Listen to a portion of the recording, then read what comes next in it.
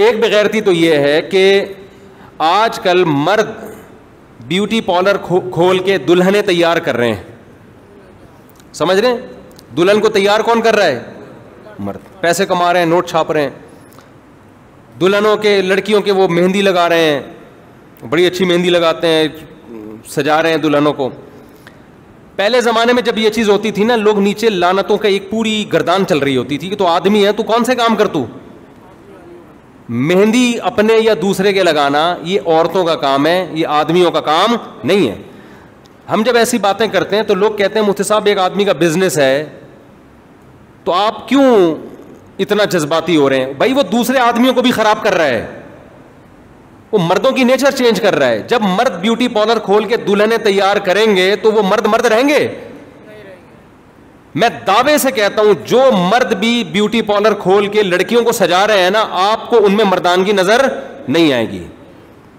Nature तब्दील करने की इस्लाम ने इजाज़त दी है आपको? तो आप वो काम करो यार, जो आदमियों पे सूट करते हैं। हमें याद है बार बार मैं ये वाकया सुनाता हूँ, पहले माओ माओ में गैरत होती थी। हमें याद है, हमारे, हम जब छोटे बच्चे थे आठ नौ साल एज थी हमारी तो जब ईद आने वाली होती थी तो जितनी भी कज़नें और बहनें और वो सारी ख़ानदान की लड़कियाँ ना, वो मेहंदी लगाने के लिए बैठ जाती थी। हम बच्चे थे, हम भी जाके बैठ जाते थे। बच्चे कर रहे होते हैं ना ऐसा कि हमारे भी लगा दो। मुझे याद है, हमारी दादी ने कहीं देख लिया। मैं और हमारे कज़न भी बैठे हुए हैं, किसमें? बच्चियों में ना, हम भी बच्चे थे। सब लगा रहे हैं तो हमने हमारे भी लगा लो। हमारी दादी को इतना गुस्सा आया, इतना सख्त डांटा। और हमें वो ताना, मैंने कहा ना, मुझे कल की बात याद नहीं रहती। मुझसे लोग मिलने के लिए आते हैं बड़े बड़े लोग आते हैं और फिर फ़ोन करो तो मैं कल आया था, मैं कहता हूँ, भाई, मुझे नहीं याद रहता कल कौन मुझसे मिल के गया है। वाकई याद नहीं रहता। आलू के रेट क्या चल रहे हैं, टमाटर के क्या चल रहे हैं, रोज़ ख़रीदने फिर भी भूल जाते हैं। लेकिन ख़ानदानी बात, अल्लाह का शुक्र है, हमें याद रह जाती। तो वो दादी का जुमला मुझे याद है उन्होंने कहा, बेटा, जो लड़का मेहंदी लगाता है, वो तलवार उठाने के काबिल नहीं रहता। ये तरबियत थी पहले माँ बाप की तरफ़ से। तो जो लड़का बच्चा लड़कियों में बैठ के सिर्फ़ लड़कियों के साथ मेहंदी लगा रहा है, उसको माँ बाप और दादियों नानियों की तरफ़ से ताने मिलते थे तो को आदमियों वाले काम कर। तू तलवार उठाने के काबिल नहीं रहेगा। वो दादी आप ज़िंदा होती और यूट्यूब पे देखती कि एक आदमी पला पलाया पूरा। तीस, बत्तीस साल का। उसका काम ही दुल्हने तैयार करना है। वो क्या उसको ताने दे रही होती? तो ये है मज़हब जब ज़िंदगी से निकल गया तो नेचर चेंज। अच्छे और बुराई का क्राइटेरिया ही चेंज हो गया है।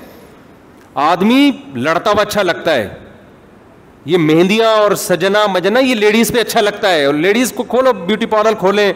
वो तैयार करें दुल्हनों को, वो उनका काम है भाई, वो उन पर जचता है। औरतें लड़ती भी अच्छी नहीं लगती। कोई अच्छा लगे कि खातून आपकी बीवी बम लेके जा रही है? आप बोलोगे, भाई, ये मैं नहीं रखना ऐसी बीवी। लेकिन आप मैदान मैदान जिहाद में बॉर्डर पे बम ले जाते हुए बोलो, अच्छे लगोगे। यूट्यूब पे देख लो फौजियों की जो वीडियोस हैं, लड़ाई की। उसमें मिल्ली नगमे पीछे बैकग्राउंड में चल रहे होते हैं और फौज लड़ रहे होते हैं और जहाज़ों की लड़ाइयाँ, मर्द इस हुलिये में क्या लगता है? अच्छा लगता है। उधर से अभिनंदन आया, इधर से हमारा पायलट आया, दोनों की सलाम दुआ हुई।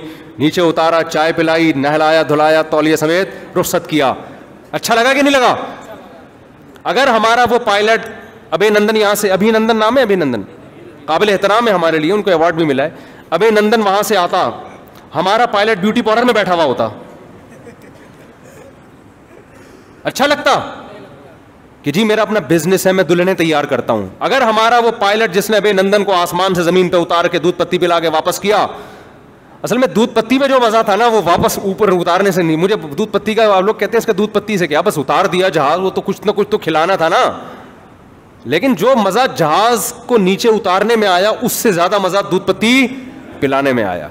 यानी बिल्कुल हमने उसको टेंशन नहीं ली ना। देखो, खुदा न खास्ता मारते, पीटते, टांग हाथ पाँव तोड़ देते, ये गैर अखलाकी हरकत होती ना।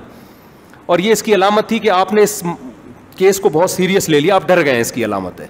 आप क्या हो गए? आप डर गए पायलट आया, आप घबरा गए, आपने उसकी टांगें तोड़ दी, आपने जेल में डाल दिया। आप एकदम नफसियाती दबाव आपके ऊपर आ गया, पागल हो गए आप। हमारी आर्मी ने फील ही नहीं किया ना। हमारी आर्मी ने अभी नंदन आया उन्होंने कहा, जहाज़ से उतार लिया। पब्लिक ने मारने की कोशिश की, उन्होंने बचा लिया। बोले, इतना कोई सीरियस केस नहीं होता है। छोटे मोटे चीज़ें, तितलियाँ उड़ती हैं, आती हैं और कुछ मसला नहीं।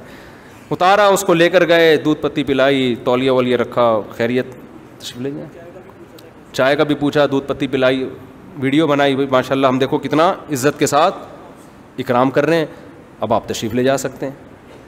तो उसको अल्हम्दुलिल्लाह, बिल्कुल कोई आसाब पे दबाव नहीं आया। इसलिए हमें ये बहुत अच्छा लगा। मारते, धाड़ते, बदमाशी करते अच्छा नहीं लगता फिर। इसका मतलब आप डर गए हैं। आपने इसको बहुत सीरियस ले लिया है। तो हमने सीरियस नहीं लिया। हमने उतारा और बिठाया। वो एक शायर का शेर है। अरबी में शेर है, पुराना है। मुझे थोड़े अल्फाज भूल गया हूँ मैं। उसने महबूबा के बारे में शायर ने शेर कहा कि पता नहीं पूरा शेर याद नहीं आ रहा। अरबी के अल्फाज थे जात और तवल्लत कुछ इस तरह कि महबूबा आई, बैठी, कोई बात नहीं की, चली गई। इतना सा काम हुआ है, लेकिन दिल का बेड़ा गरक हो गया, दिल तबाह बर्बाद हो गया। यानी काम कितना सा हुआ है, महबूबा आई, बैठी, कोई बातचीत नहीं की और चली गई।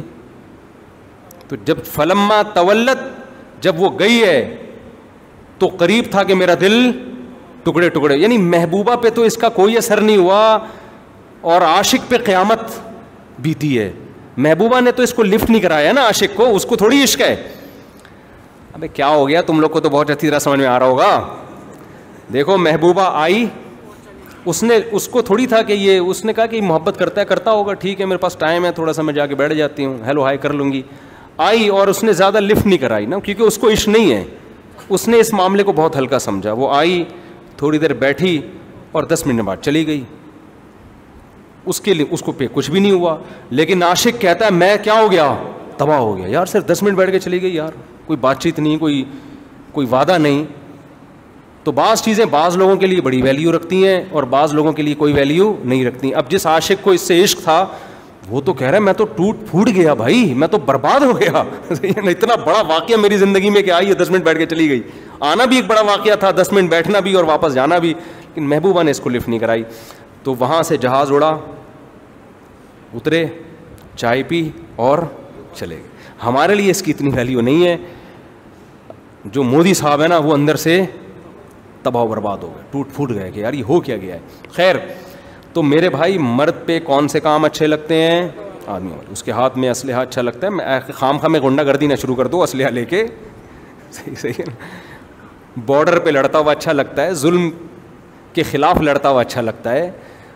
तो हवाओं में कलाबाजियाँ खाता हुआ अच्छा लगता है आदमी।